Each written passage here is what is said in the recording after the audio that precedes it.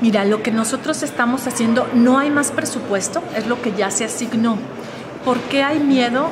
El diagnóstico arrojó que las madres tienen mucho miedo porque los niños eh, se les está acercando, pues ahora sí que drogas. Arroja, es muy claro el diagnóstico en decir que en los hombres, en los adolescentes y los, los padres, ellas reconocen más el alcoholismo, pero en los niños o preadolescentes la drogadicción.